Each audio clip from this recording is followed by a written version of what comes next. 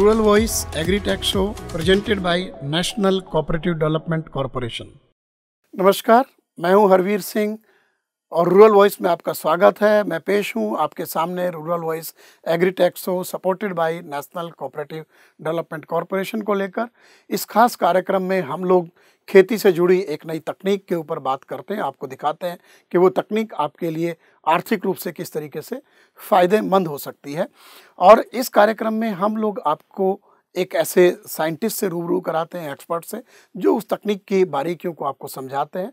साथ ही हम लोग एक किसान को भी लेकर के आते हैं, जो उस तकनीक का उपयोग कर रहे हैं, जो आपको उसका व्यवहारिक पक्ष बताते हैं। आज के हमारे इस शो का विषय है बायो फोर्टिफाइड क्रॉप, यानी जैव संवर्धित क्रॉप, जिनमें जैविक तरीके से उनके अंदर पोषक तत्वों को बढ़ाया गया है।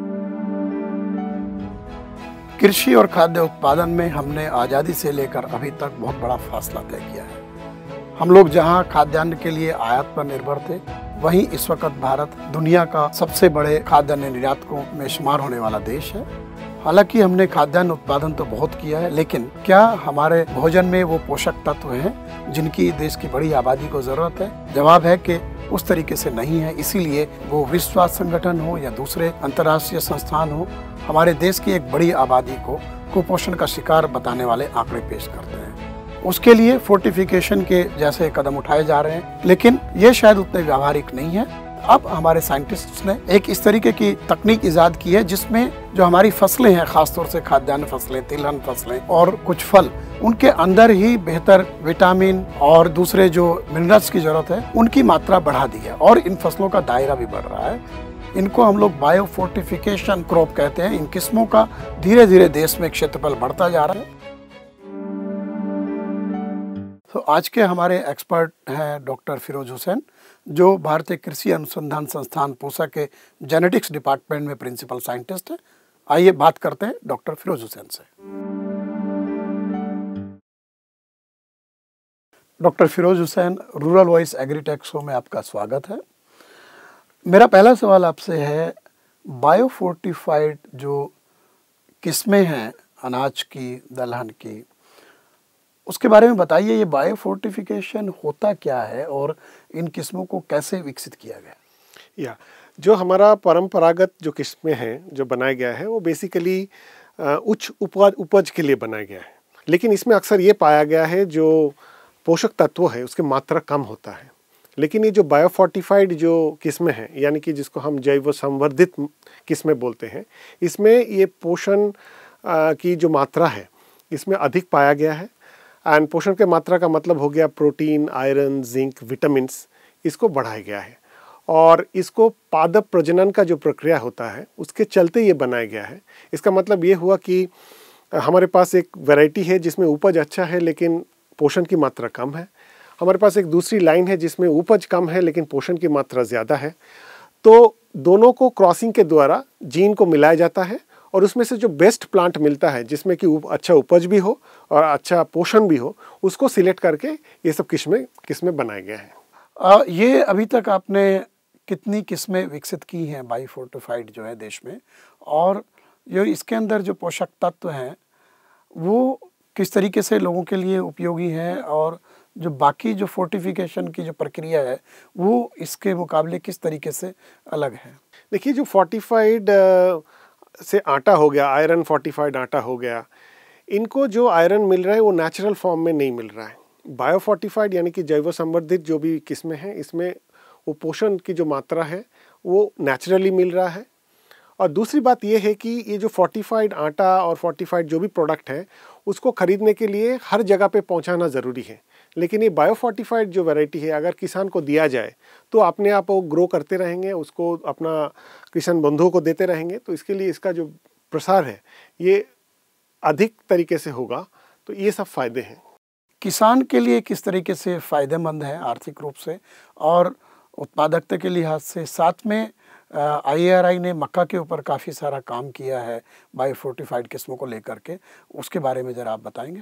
भारतीय कृषि अनुसंधान परिषद स्टेट एग्रीकल्चर यूनिवर्सिटी यानी कि कृषि विश्वविद्यालय और गवर्नमेंट एजेंसीज यानी कि DBT department of biotechnology department of science and technology के सहयोगिता से अभी तक पचासी यानी कि 85 बायोफोर्टिफाइड किस्में डेवलप किया गया है और इसमें, इसके अंदर 16 क्रॉप को लिया गया है। और इस सब फ़सलों के अंदर करीब 15 पोषक तत्वों को बढ़ाया गया है या इम्प्रूव किया गया है। इसमें से protein iron zinc calcium vitamin A vitamin C lysine tryptophan इस तरह का तत्वों को बढ़ाया गया है। डॉक्टर फिरोज हुसैन आपने रूरल वॉइस एग्रीटेक शो में हिस्सा लिया और बहुमूल्य जानकारी दी। उसके लिए बहुत बहुत धन्यवाद। थैंक यू सो मच और हमारे दूसरे एक्सपर्ट हैं डॉक्टर एस पी सिंह। जो भारतीय कृषि अनुसंधान संस्थान पूसा में जेनेटिक्स डिपार्टमेंट में प्रिंसिपल साइंटिस्ट हैं डॉक्टर एस पी सिंह से बात करते हैं, आइए। Doctor S P Singh Rural Voice agritech show में आपका स्वागत है।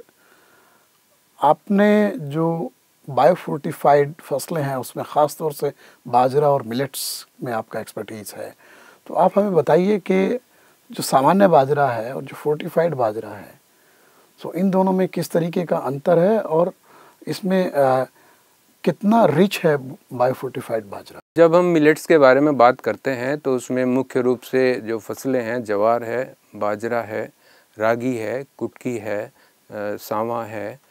तो इस तरह की जो फ़सलें हैं इनमें जनरली आयरन और जिंक पे इन पे इनमें काम हुआ है और कैल्शियम की मात्रा भी इनमें बढ़ाई गई है।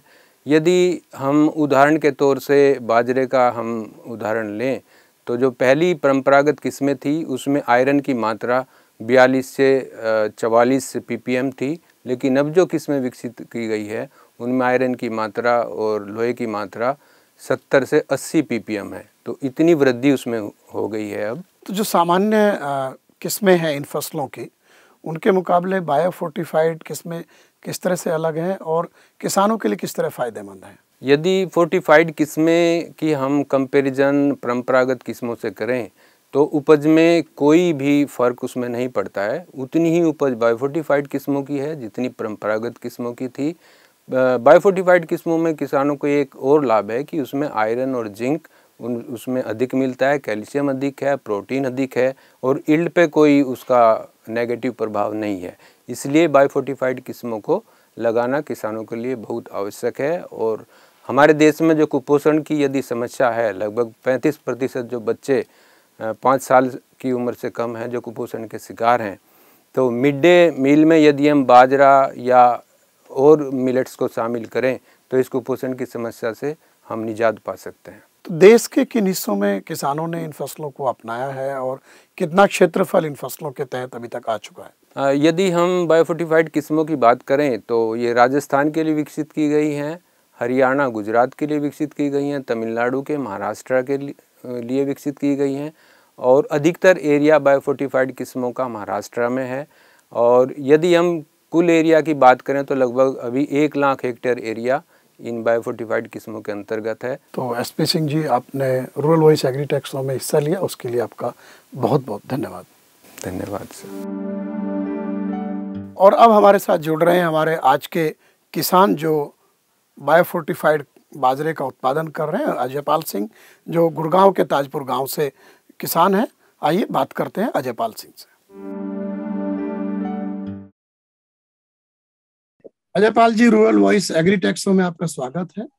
मेरा पहला सवाल आपसे है कि जो बायोफोर्टिफाइड फ़सल आपने शुरू की है इस बार उगाई है उसके लिए आपको कहाँ से प्रेरणा मिली और आपके लिए किस तरह से फ़ायदेमंद साबित हो रही है? एक सतबीर जी हैं फरूखनगर में। उनके द्वारा मुझे बीज प्रोवाइड हुआ और मैंने इसको बोके देखा है। ये जो बायो फोर्टिफाइड आपका बाजरा है इसकी खासियत क्या है? ये बाकी सामान्य बाजरा से किस तरह अलग है? जी इसमें तो पोषक तत्व तो अधिक है। पकाई इसकी अच्छी है। सफ़ेद बाजरा निकलता है। खाने में मिठास है। तो यही कारण से मेरे को बाजरा अच्छा लगा। और आपको लगता है कि आपके लिए ये बेहतर दाम लाने वाली फ़सल साबित होगी? हाँ जी ये ज़रूर मेरे लिए बेहतर है। और अच्छा जो बिक्री के लिए अभी तो मैं लेके नहीं गया हूँ बाज़ार में लेकिन बिक्री में भी अच्छा मुनाफा देगा। आपने इस फ़सल को लिया बायोफोर्टिफाइड बाजरा की। बाकी किसानों को आपका क्या सुझाव और संदेश है? किसान भाइयों को मेरा यही संदेश है कि इस बाजरे को बो के देखिए और इसकी उपज को दूसरे बाजरों के तुलना कीजिए इसके स्वाद को और इसके रंग को जो हमारे किसान भाइयों को आगे चल के फ़ायदा देगा। अजय पाल जी आप रूरल वॉइस एग्रीटेक शो में हमसे जुड़े और आपने बहुत ही बहुमूल्य जानकारी दी उसके लिए आपका बहुत बहुत धन्यवाद। धन्यवाद। उम्मीद है आपको रूरल वॉइस एग्रीटेक शो का यह एपिसोड पसंद आया होगा, जिसमें हमने बायोफोर्टिफाइड फ़सलों की किस्मों पर बात की। हम लगातार आपको इस शो के माध्यम से नई तकनीक के बारे में जानकारी देते रहेंगे। आज के लिए बस इतना ही। अगले शो में फिर हाजिर होंगे आपके लिए एक नई तकनीक की जानकारी लेकर। तब तक के लिए नमस्कार। आप हमसे हमारी वेबसाइट और ईमेल के माध्यम से जुड़ सकते हैं। साथ ही हमारे social media handle, YouTube, Facebook Twitter LinkedIn और इंस्टाग्राम पर शो के बारे में और जानकारी हासिल कर सकते हैं।